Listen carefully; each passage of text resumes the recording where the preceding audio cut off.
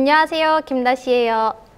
이제 슬슬 여러분들에게 애칭을 지어줄 때가 온 것 같아요. 그래서 저는 여러분을 맞다시라고 부르기로 했습니다. 저는 김다시, 여러분은 맞다시. 여기는 김다시의 다시 보기. 오늘은 사장님들에 대해서 얘기해 보려고 해요.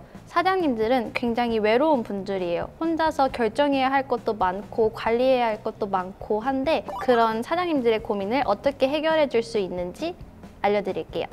마침 저희 전문가 한 분이 지나가시는데요. 여기 같이 촬영하시겠어요? 네. 뭔데요? 대표님이요. 아, 그냥 아는 거 많이 얘기해 주면 돼요. 갑자기요? 응, 갑자기 이렇게. 어, 안녕하세요, 대표님. 이렇게 참석해 주셔서 감사해요. 네, 먼저 안녕하세요. 자기 소개 좀 부탁드릴게요. 아, 저기 뭐고요?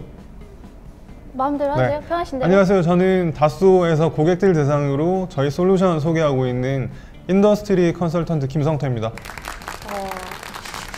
환영합니다. 네, 네, 제가 알기로는 저희 회사에서 굉장히 인정받는 인재이신데 하지 마세요.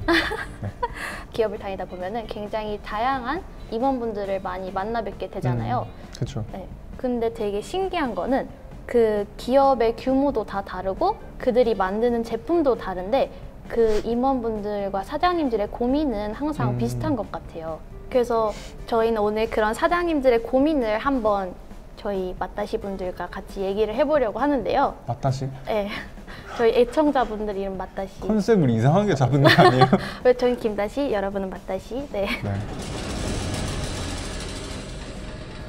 제일 첫 번째로 가장 큰 고민은 보통 음. 뭘까요? 제일 처음에 사장님들이 그 돈을 벌기 위해서 하는 방법은 좋은 사람들을 뽑으려고 해요.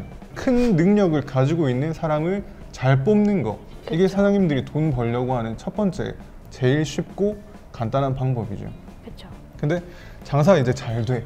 어. 그래서 회사의 규모가 점점 커져. 오. 그러면 또 이 사장님들이 하는 걱정들은 조금 달라지는 것 같아요.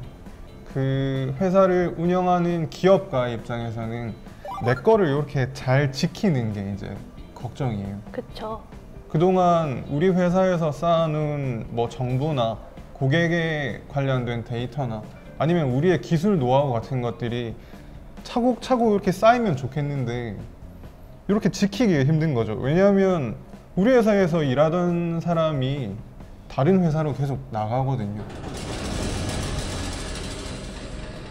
우리 뉴스만 봐도 그런 거 많이 나오잖아요. 최근에도 하나 나왔는데 이제 음, 퇴사를 하면서 기밀들을 다 들고 나가서 소송도 들어가고 하는 사건들도 있고 음. 또 그냥 로컬에서 관리하던 노하우들 다 들고 나가니까 이제 후임자가 그런 지켜야 할 사항들을 모르고 설계를 해서 뭐 설계 오류가 발생하는 경우들도 음, 있고 맞아요.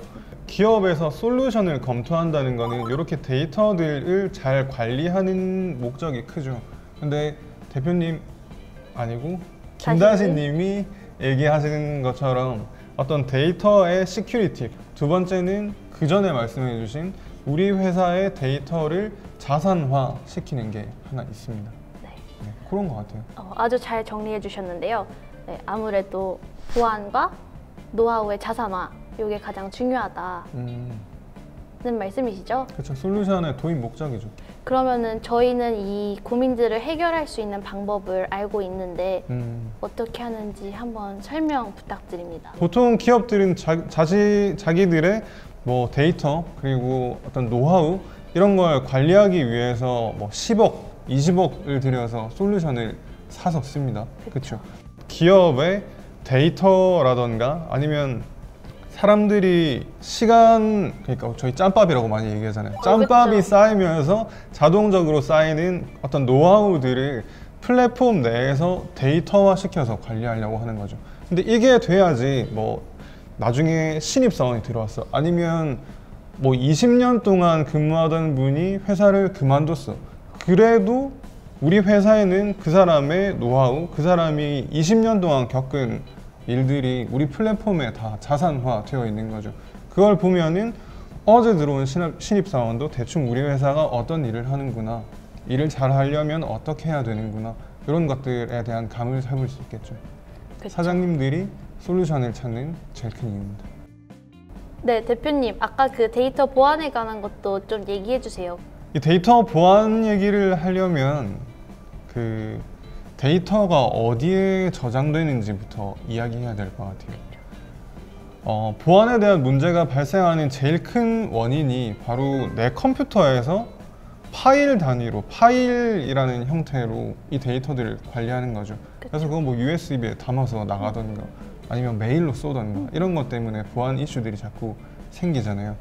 근데 이거를 플랫폼이라는 어떤 가상의 공간에 저장하면서 우리 회사의 정보, 자산, 노하우 이런 것들이 외부로 나가는 것들을 방지할 수 있습니다. 그러면은 뭔가 사용자마다 뭐 데이터에 접근할 수 있는 권한도 다르고 그리고 너는 이거를 뺄 수 있어 없어 이런 것도 또 할 수 있지 않나요? 그렇죠. 음.